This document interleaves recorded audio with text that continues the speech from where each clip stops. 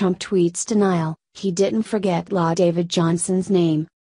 On October 4, four U.S. soldiers were killed in a military operation in Niger. One of those killed was Army Sergeant La David Johnson. He left behind his pregnant wife who is due to deliver a baby girl in January. The situation is tragic, as is every loss of life in service to our country.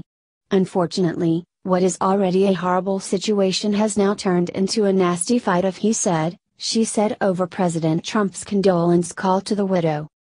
Adding fuel to the fire is Representative Frederica Wilson, an ardent Trump critic. Rep. Wilson did not attend Trump's inauguration, and has called for his impeachment since the day he took office. Apparently, Rep. Wilson in La David Johnson's widow, Myeshia Johnson, are old family friends. When President Trump called Mrs. Johnson to offer condolences, Rep. Wilson was secretly listening in. Rep. Wilson then publicly criticized the phone call. According to Mrs. Johnson, President Trump had a hard time saying, remembering La David Johnson's name and said to her, Well, I guess you know he knew what he was signing up for, but it still hurts.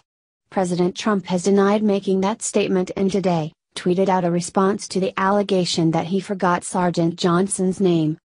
President Donald Trump has been the subject of controversy over his phone call to Gold Star widow Myeshia Johnson, whose husband, along with three other soldiers, was killed in an October 4 ambush in Niger carried out by fighters affiliated with the Islamic State group.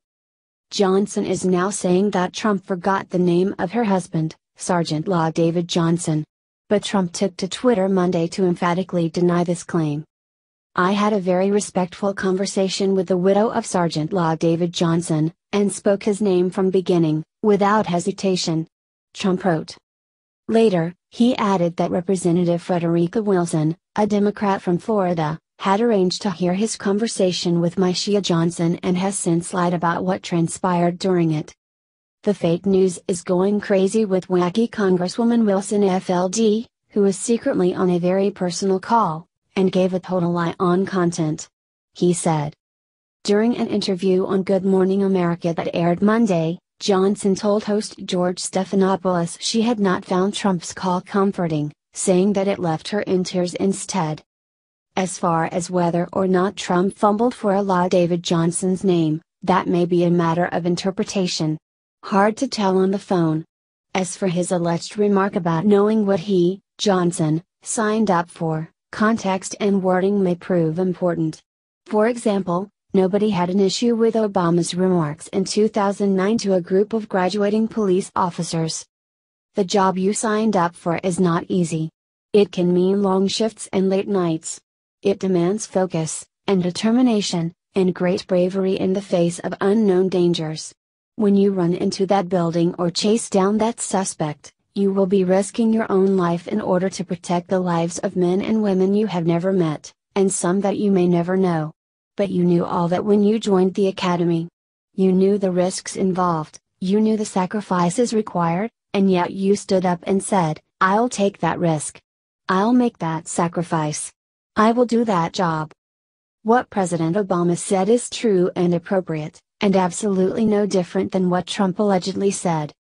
Who knows what really happened here? On the one hand, clearly we have Trump's enemy number one on one side, looking for any reason to tarnish his reputation.